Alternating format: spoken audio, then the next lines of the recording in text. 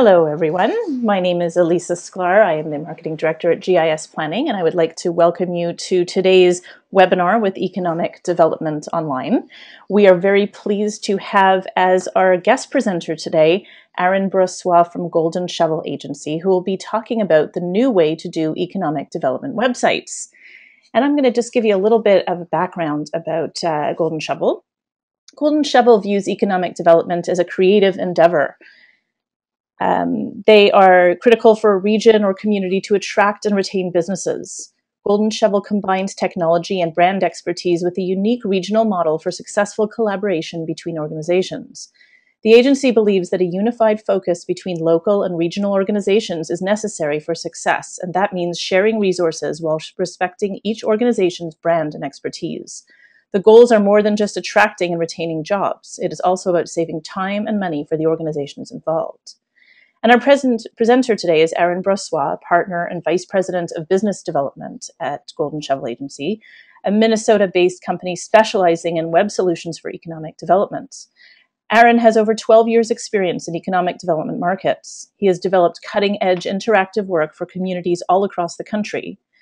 Aaron is a board member for the Mid America Economic De- Development Council and on the Communications Committee for the National Rural Economic Development Association. Aaron's work has won local, state, and national design awards. Welcome, Aaron, and thank you very much for joining us here today for this webinar. Thank you so much, Lisa. Today's presentation, we're going to be talking about the new way to do economic development websites, discussing some new models that uh, here at Golden Shovel we've been working on. Just want to say a special thank you to GIS Planning for inviting us to uh, give the webinar today.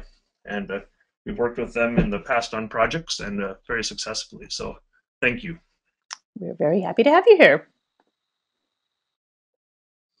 And I'll start off with who are we, which might be the first question. So Golden Shovel Agency, we do economic development websites that specialize on rural and regional projects.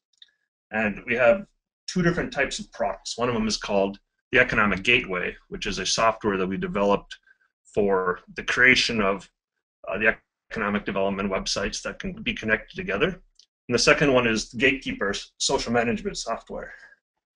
And Gatekeeper is designed to handle the ongoing communications and the maintenance of the economic development sites.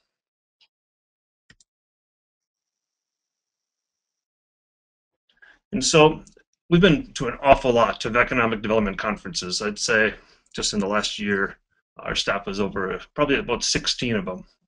And so we see a lot about what's going on in economic development, and especially a lot of the different strategies that um, groups across the country are applying.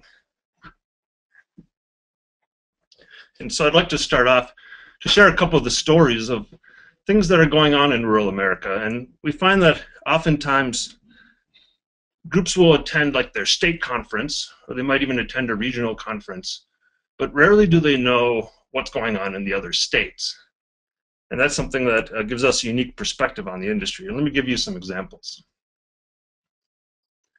As we know, there's been a large population shift in rural America. And um, this shows a chart. This is from 2010 to 2011. You can see the counties that have gained population, um, and then the, the blue colored were the uh, counties that have lost population. The white counties are the urban, or the white colors are urban regions you can see there's been a, long, a large shift. But there's some really amazing things that are happening in these rural regions, and I'll give you an example. Like in Brookings, South Dakota, where they just uh, brought in a Bel cheese plant, uh, they were able to create 450 jobs. It was very exciting uh, for them. However, uh, where they were struggling was actually creating housing, where in other areas of uh, rural America, you find that housing is plentifully available and it's the jobs that they need. So Brookings is in that scenario. We learned from Ottumwa, Iowa, um, rural community, southeastern Iowa, that has a amazing laser optics program, one of three in the country. And they have talent there that's uh, learning these skills, and yet we find out that across the rest of the country, it's hardly known. I really like Kalamazoo, Michigan. We had a chance to visit Kalamazoo for the Mid America Economic Development Conference last year, and they have the Kalamazoo Promise. And the Kalamazoo Promise is that if you have your children in school there from uh, K through 12, that they will pay for you to go to college, pay for your kids to go to college. And that was an economic development strategy that they used that was greatly successful in attracting people to their region workforce. And then we have uh, another example in Faribault, Minnesota. Um, amazing company there, Sage Glass, that's been developing glass that's now going into skyscrapers that allows for electrically tinted so that no longer you need shades. And by tinting the glass, it creates energy efficiencies um, just with a little bit of electricity. And they've gone through um, three different plants and with amazing success. And who would have thought it'd be in the Faribault, Minnesota? And then there's Texas.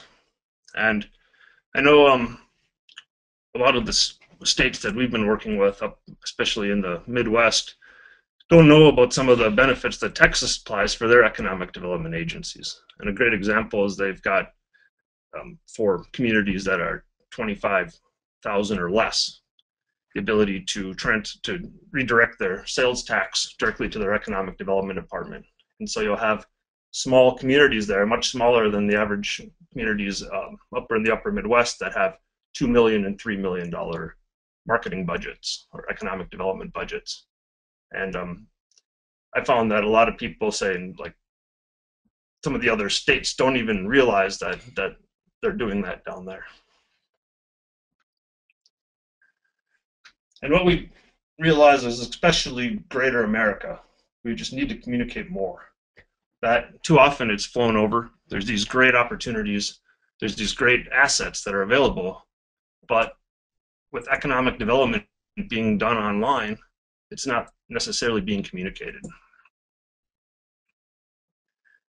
So at Golden Shovel, we believe that absolutely critical that there's some level of regional collaboration. Um, the only exceptions we've seen are in very large metro areas where they have enough brand name already and they have enough budget to be able to uh, support the region. But for the rest of Greater America, uh, regionalism is going to be critical. And fortunately, it's not super easy. There are a few barriers to regional collaboration. Let me touch on a couple of those. First of all, there's the way things were done the last 20 years. Um, the rate of change is happening so dramatically that um, a lot of the economic development uh, policies, uh, programs, uh, even mindset of how it was done that was applied through into the 80s, the 90s, early 2000s has already changed. It was Eric Schmidt, uh, now ex-CEO of Google, who wrote, turns out every two days, the world produces five exabytes of data. This is as much data as the world produced from the start of humanity until 2003. We're entering very, very different times. And unfortunately, um, many of the communities, rural communities, aren't keeping up. They're not changing fast enough to keep up with the rate of change. And then there's the leapfrogging issues with uh, contracts. This has been a barrier to regionalism. And the idea behind this is that this is how you're building your websites now. Raise a big pile of money. Look and see what your neighbors are doing and see if they have uh, any new tools on their website that you might not have. Then you make a wish list of all the different economic development tools you'd like to see on your website. Then you contact a company, uh, economic development or website making company, whoever might be in your area, and they send back the tab. They're like, look at this, we're going to build all of these items on your wish list. It's going to cost this. And you're like, wait, I only had one pile of money. I can't build all of those things. So what I want to do is prioritize them. I'm going to do a few of them this year, and I'll try to get some budget together for next year, which uh, rarely happens for the record. You launch a website, looks really nice, win an award, four years goes by, and suddenly Internet Explorer 30 came out and your website doesn't work anymore and you're embarrassed You have to go raise another big pile of money to do it all over again. That's the RFP leapfrogging issue. And the problem with this is that when you're doing a regional a regional project, that there's always somebody in the region that just spent that big pile of money to build something. So why and how do they participate in a region? There's politics. Um, we had this happen up in Minnesota where the government had shut down temporarily. And that certainly can be a, a burden to regional collaboration. I like to throw in grumpy people because there's also uh, definitely people that don't want to participate or do not want to, uh, don't see a regional collaboration as a good idea. Um, or they just want to do their own thing. And um, that can be challenging for regional, regional groups, projects.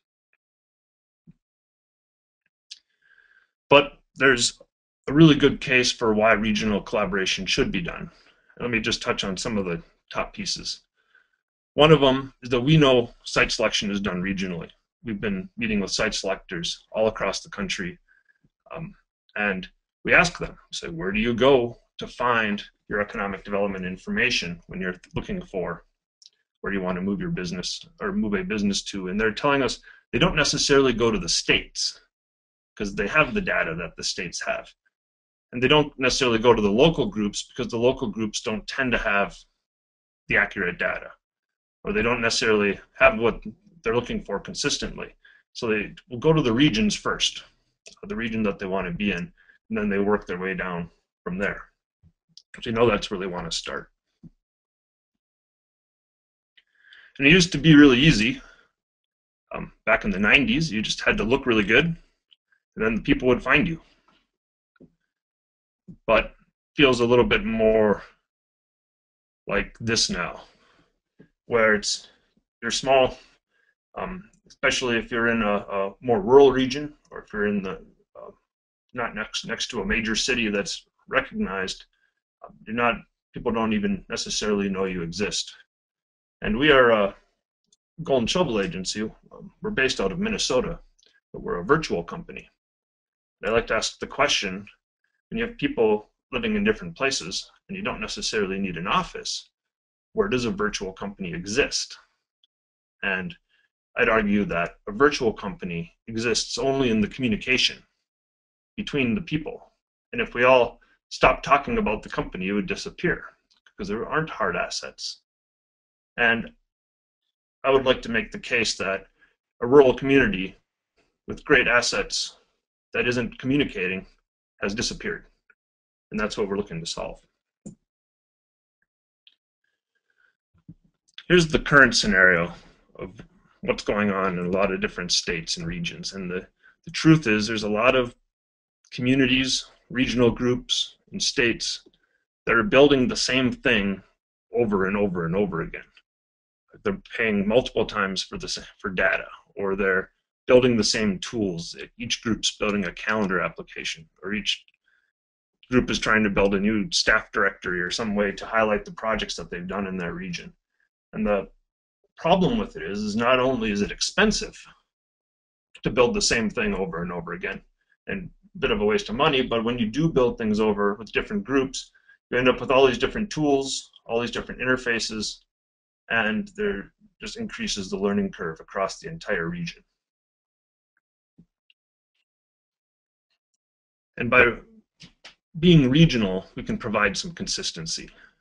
And um, not necessarily consistency in look and feel, since each organization has their own uh, identity, but consistency in navigation on how tools work, and consistency on the data that's provided, similar to like what GIS planning does with their own site location tool, Zoom Prospector.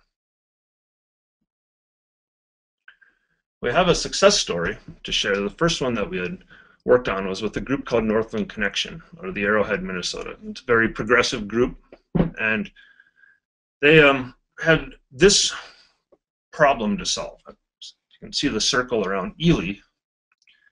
So in the county of St. Louis, was a very progressive county in the state of Minnesota. They have accurate data that was current. Um, but Lake County didn't necessarily have the same data, it wasn't consistent, and it was out of date. And so if some business wanted to move into Ely, right at the edge of the county line, and wanted to know, for example, how many welders were within a 50-mile radius, um, they were only able to see half the picture. And they recognized that and decided they needed to do something to present the whole region as a whole. And they did a, a fantastic job. We built um, Northland Connection, including it had eight counties, uh, the Duluth Superior MSA, in 69 different communities inside, and created a consistent look and feel for and consistent set of data for every single community within the whole group. You're able to work your way from the top, at looking at the whole region, which is the page here, all the way down to a local community.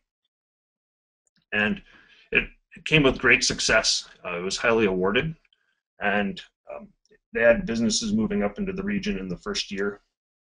But over time, one of the things that they were struggling with was that the counties and communities that were buying in still had to maintain and pay for their own websites also.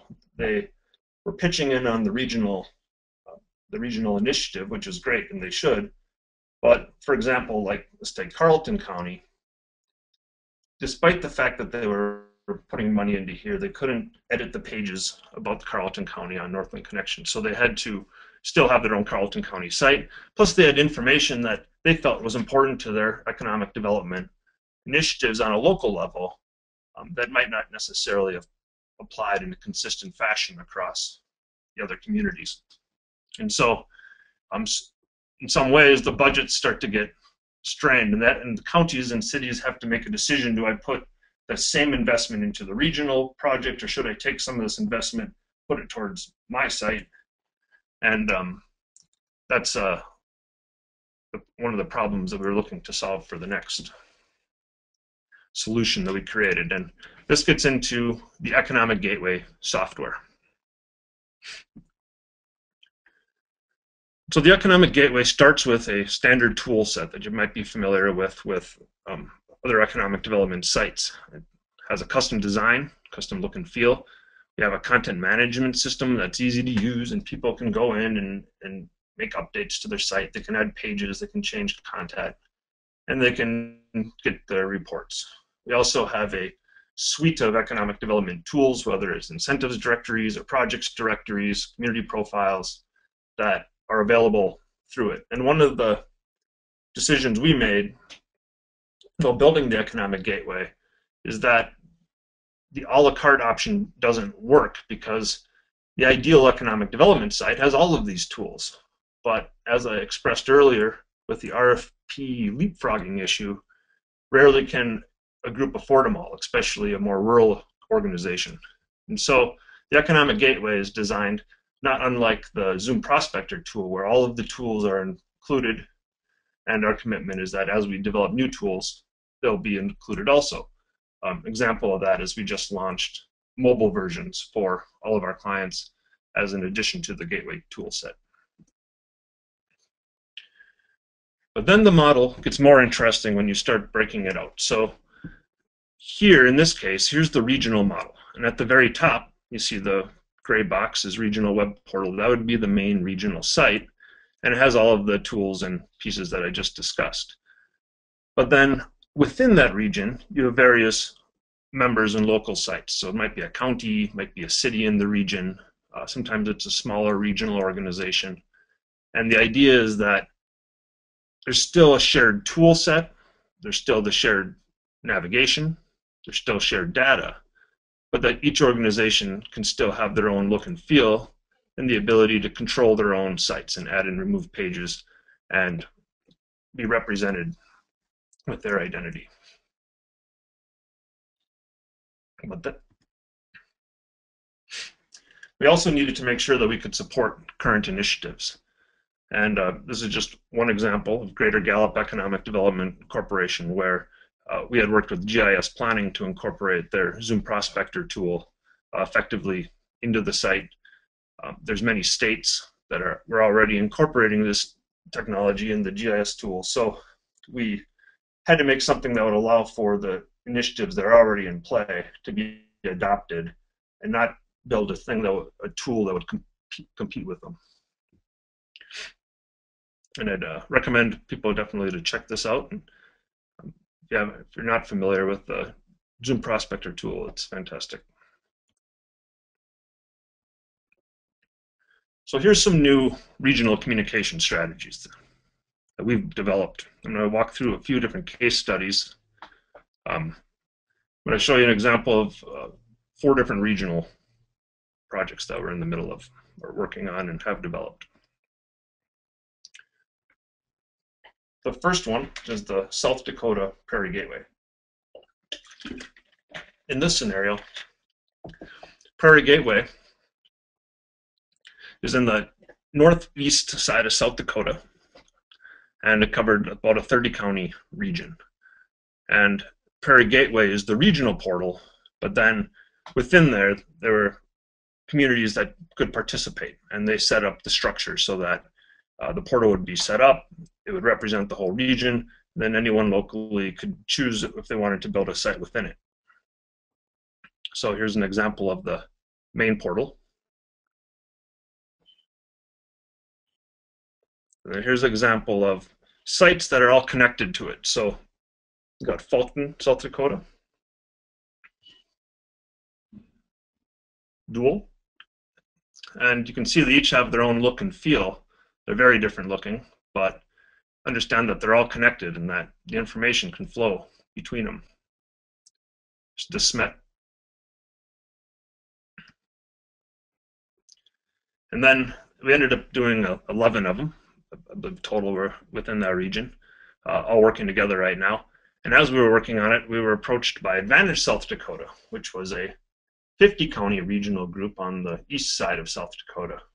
And this made for, because of the way that the gateway was built, because of the way we could share information, we be able to create a unique structure where the regions could cross and they could share content and information and the various communities that were underneath them uh, could be represented fully. So you end up a scenario where two regional organizations overlap but could take advantage of the structure all at once.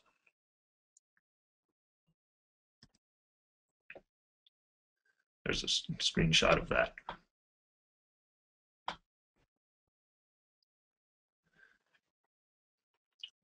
So then we started getting into a, a, slightly different model that we were able to develop for a Great River Energy and um, other clients that had a distributive electrical cooperatives. And in this scenario, Great River Energy wanted to build an economic development portal that not only represented their G&T, but represented all of their member cooperatives, all the distributive cooperatives across the state.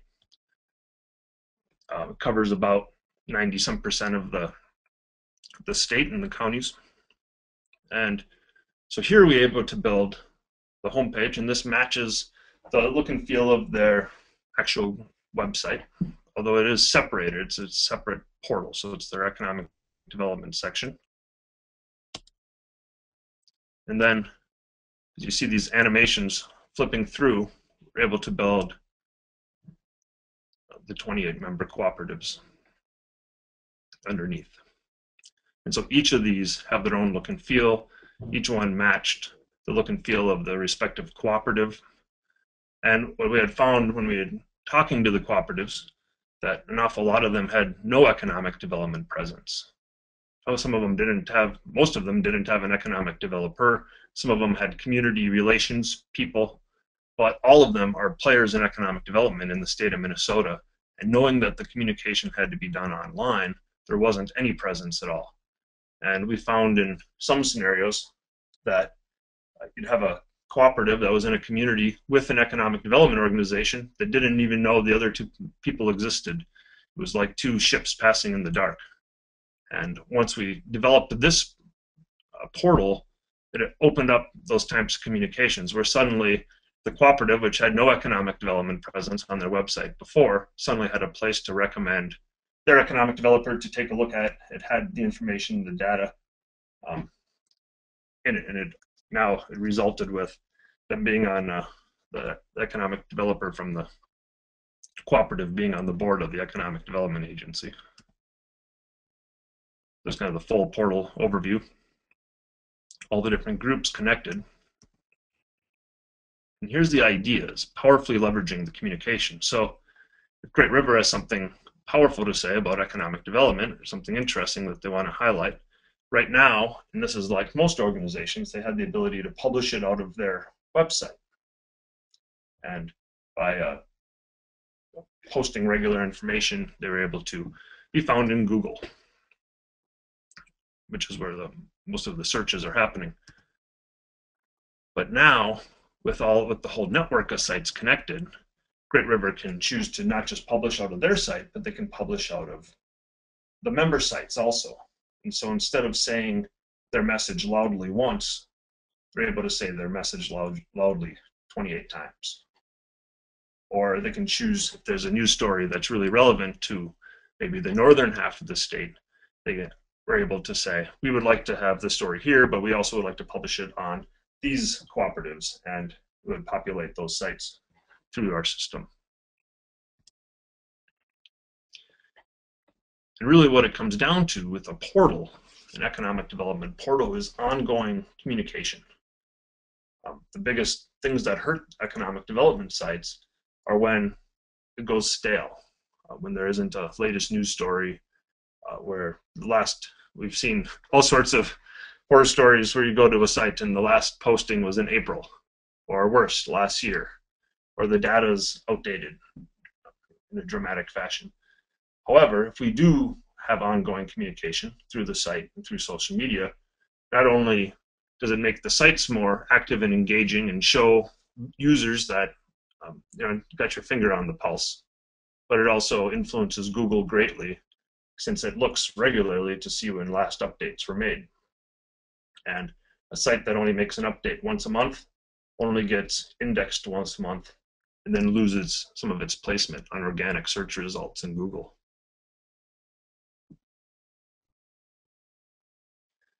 So in order to keep ongoing communication um, a priority, we developed the second service, and that's the gatekeeper service.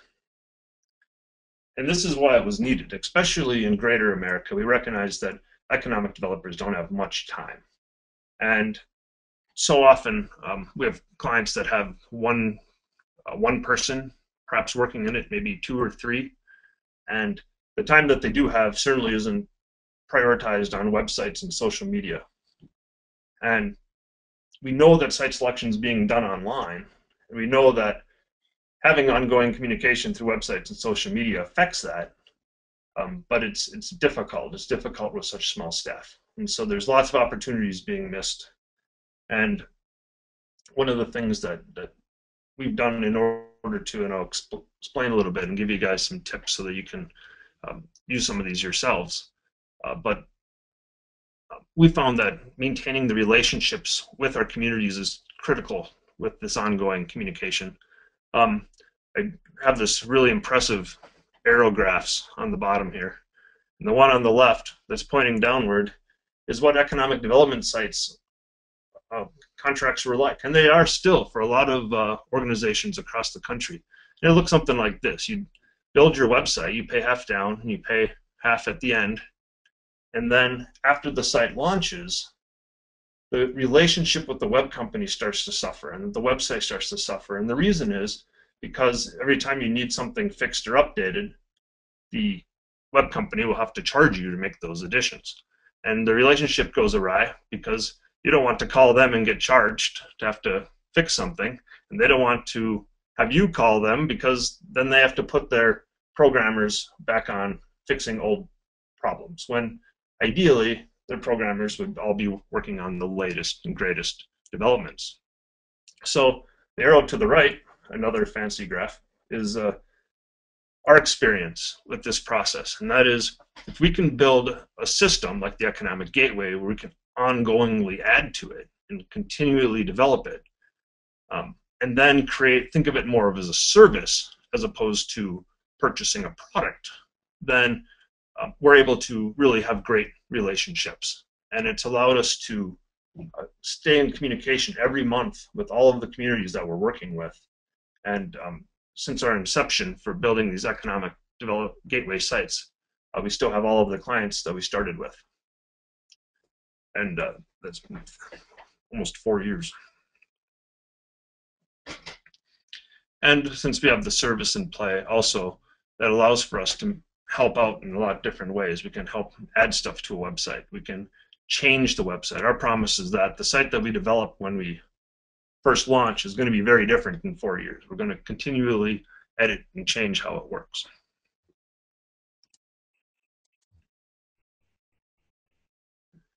The ongoing communication allows us to leverage the other networks that are available, and we like to work with social media quite a lot. So not only do we have um, like Facebook, Twitter, and LinkedIn, um, we've also used YouTube and uh, press releases. There's some great press release channels, um, and all of these come into play.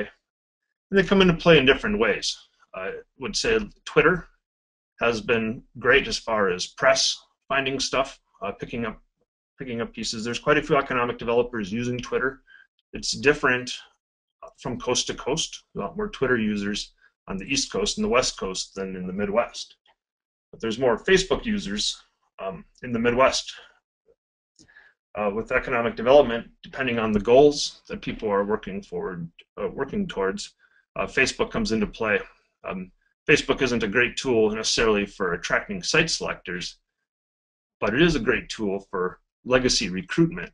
They're trying to get uh, people to move back to the community that had already lived there once before. And they'll connect to their community Facebook page um, more socially uh, than a site selector would, where a site selector would prefer to use LinkedIn to make their contacts.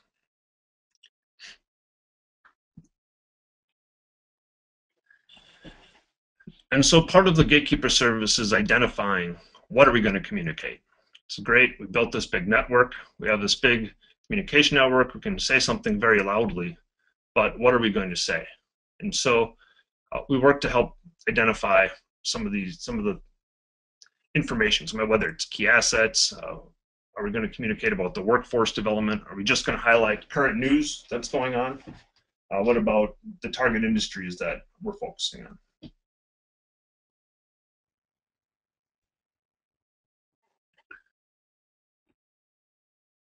So then we have to ask ourselves, well, who is the audience? And um, there's a variety of different types of groups. You have the existing businesses uh, that are looking for retention and expansion. We have site selectors, of course, um, entrepreneurs, startups, the audiences that economic development people are working with every day. There's also the audiences like the community stakeholders, whether it be um, city council or the board or uh, other people in the community that use the organization and need to have awareness of it.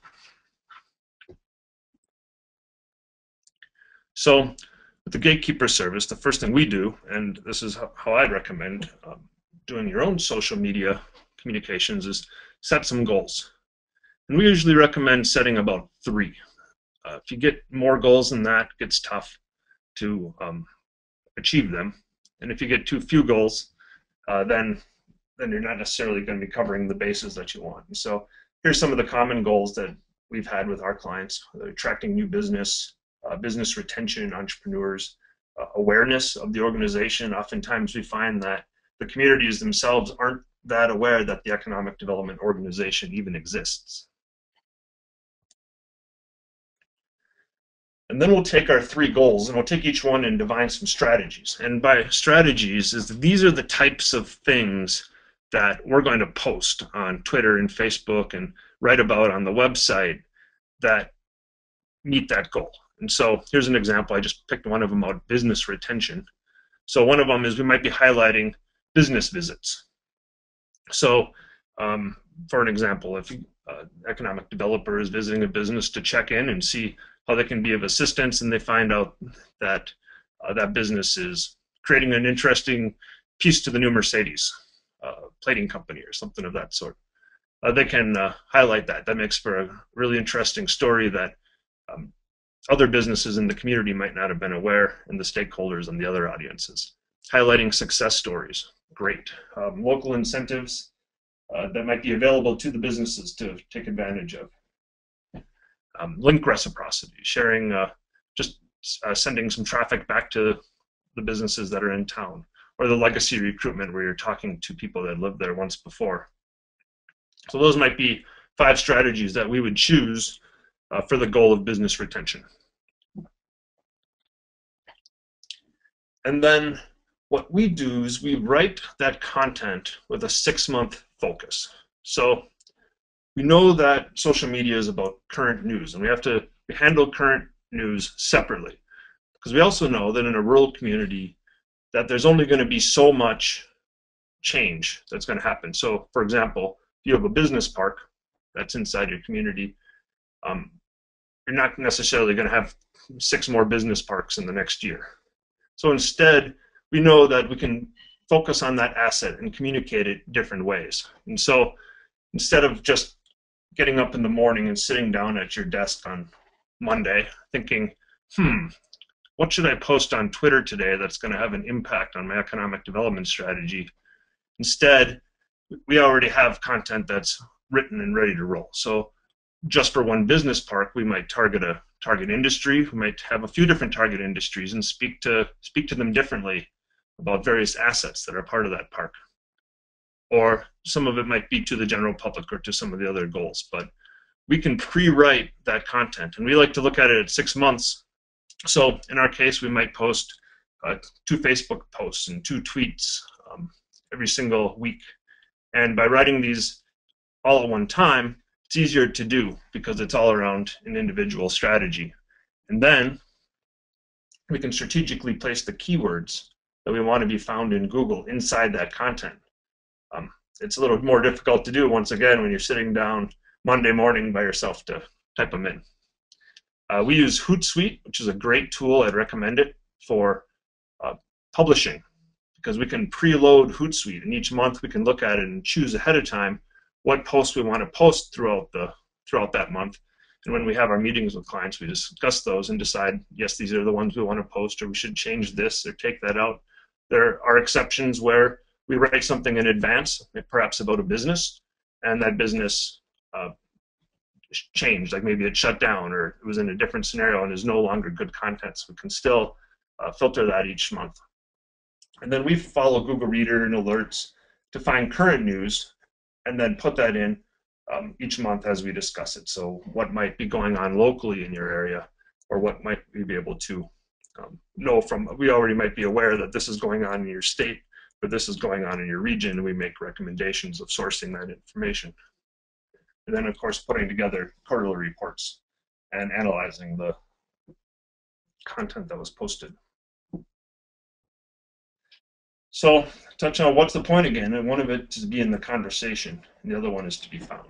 And so the latest uh, vision that we've been working on, and this is the last example I'd like to talk about, is a statewide implementation of this economic gateway. And this is the ultimate uh, plan for states, and we're starting this with working with Montana. And the vision behind it is that you have a state level, once again, with all of the tools we discussed.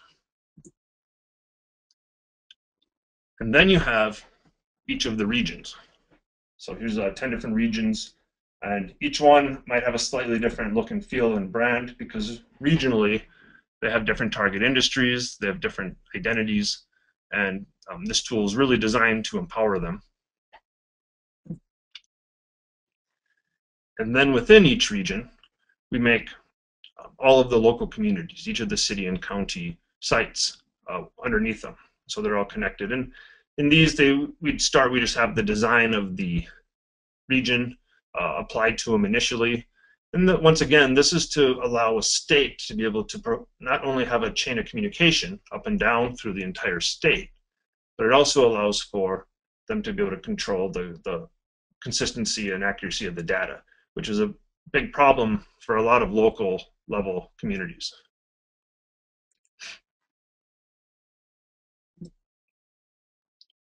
This creates for some pretty powerful control because now if the state of Montana has some latest economic development news that they want to post, they can post it through the state 11 regions and 50 other communities. And they can have the consistent data and it can be filtered to the specifics of that community as you work your way down. There's also the consistent navigation across the whole piece so the tools work the same way. So a site selector's learning curve is minimized or um, other stakeholder or user. And then when we make maintenance and upgrades, we can do it across the whole system at once.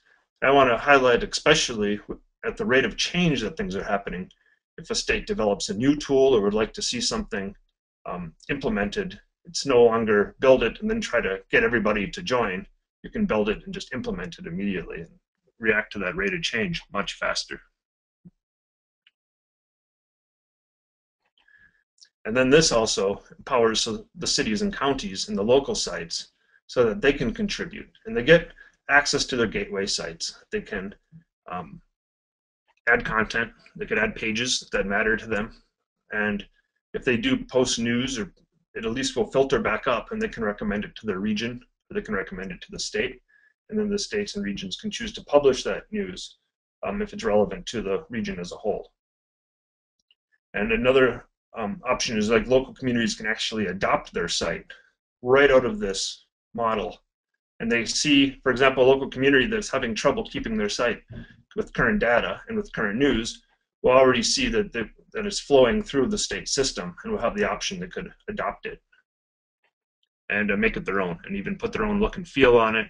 And it's a way to create a full network that really has, uh, has the, the whole state's interest in mind. I also note sometimes there's um, organizations that don't want to participate or they have a really nice website and don't necessarily uh, want to participate in the whole overall state. And so in that scenario, we can uh, work with that. We just would link over to their site, not a problem. We create a smaller uh, just representation of just the data and the news and not have a, um, any sort of competing site, but it still fulfills on the needs of the state to provide consistency. It was Clay Shirky that said, when we change the way we communicate, we change society. And these new regional models that um, we've been working on over here at Golden Shovel are intended to really change how economic development is communicated online and to empower um, all levels of economic development. So I just want to end with, uh, um, hopefully, uh, many of you will be over at the IEDC annual conference uh, we're going to be there. We have a, a booth set up. And uh, if you're out there, by all means, please stop by and say hi. So I'm Aaron, and we'll also have uh, John and Joni out there. So come looking for us. We'd love to love to meet you and share more. So thank you, and let's open it up for any questions. Thank you very much, Aaron. That was really interesting, very interesting approaches to uh, economic development presence online for organizations. Um, anyone who has any questions are free to type them into the question field and I can present them to Aaron. Uh, we have one here, which is, can you talk about the various audiences for an economic development portal? Yeah, yep, absolutely. And, um, you know, it's, the audiences we found have shifted depending on the different projects that we do. Um, once again, if we talk about, for example, Nebraska or South Dakota or Montana, they focus a lot on the legacy recruitment and bringing back people that have lived there. Um, they don't necessarily focus uh, as much on direct site selectors. Um, we had other scenarios where business attraction is the key goal and site selectors are the main audience. And um, we've had regions where that's all they're speaking to. Uh, so there's been different uh, different audiences, but the audiences that I think get missed a lot, especially in uh, the more local economic development groups, are the actual stakeholders in their own community and um, the businesses in their own community, ironically. And um, as a major trend that's going on right now in economic development, and certainly for greater America, is um, almost 100% focus on business retention and expansion. Um, there's anything from micro opportunity, growing very small businesses and getting them to add one or two jobs, all the way to uh, um, the, the legacy recruitment and uh, making awareness of their own or organization and helping businesses understand what the other businesses in town are doing so that when a business is thinking of moving into town and they do contact the community businesses to find out about the environment, that they're communicating properly and consistently the message that the economic developer wants. Okay. Uh, what, what about the communities that have just built an economic development site or they like the one that they have and they aren't ready to make a big change? Right, yeah. And to be honest, we haven't done a regional project yet where that hasn't come into play. And so, uh, the, first of all, we have to respect that. Um, not everybody necessarily wants, ideally, everybody would be in the exact same place at the exact same time and all be very motivated to uh, effectively execute a regional project, but it just it just doesn't happen. And so um, we handle those a little differently depending on the model. You saw with the South Dakota Prairie Gateway model, there was a group that had a site already, we were able just to link to it and would be a, a part of it. Um, if you get to uh, like the case of the Great River model, they didn't have any economic development presences yet, and so it was fresh. We did it. There are some uh, economic developers that are tied to some of the cooperatives that were already involved with large regional economic development sites, um, or already had a presence they felt was was good enough, and so they aren't necessarily going to uh, just adopt the one that the that the portal is building. So in those scenarios, uh, we'll minimize the presence of the of that group inside the portal and then link over to their site and take advantage of what they were working on. But on the state example, um, that being, I think, the, the, the largest scale implementation, uh, the groups that are not participating, uh, certainly up, up front we'll, we'll link to them and then just make sure that latest news and that the data is still represented consistently from the state down. All the other information goes to the site that they had built themselves. Interesting. So there's quite a lot of flexibility, it seems, in how this can actually work. Yes, Yep. absolutely. Uh, I have another question for you, actually. Um, every once in a while, uh, we hear from someone that they're reluctant to put a lot of information or data about the organization online because they are worried that people won't pick up the phone and call them or contact them in some direct way. Can you speak to how critical it is to have data online, how site selection and, and business search works these days in terms of the design, best practices for design? Absolutely. Um, I think it's absolutely critical to have the data available. Um, a site selector is going to call only if you make the top of their list. And the only, if you think about it, like how the lists are created, let's say you have a spreadsheet and there's a factor on there that that site selector wants. And so they might go to a dozen different communities around the country to find that data. And they're going to put it all into their spreadsheet. They're not necessarily going to look at the chart that you've made and compare it to someone else's chart. They're just going to go and find what they can find. And if it's a critical piece of information or a critical um, deal breaker for that site, then they'll hit sort top to bottom. And if you had a blank in there, you're already out. You're at the bottom. The data didn't get put in. And you don't have to worry about getting a call because they're, they're not going to call. So I feel that um, that having more information is better, and and that the fear of a, a site selector uh, not calling is actually greater for not having the information than having it. Right. Yeah, it's interesting. I, I think we've found the same thing as interesting response to that. Um, one other question regarding the social media design that you do, which I, I think is really interesting. Um, some economic developers say that they don't do social media or use it uh, in term for investment attraction to get the word out about their organization because they just don't have the time. And we we understand that you know the pressure's on, especially in smaller uh, organizations. You may be wearing many many hats and doing a lot of things simultaneously. How important do you think it is these days to have a, a social media presence to get the word out about your location? Yeah, that's a great question. Um, well, it's I believe it's critical to have one. Um, this is a this is a world where there's communication happening online.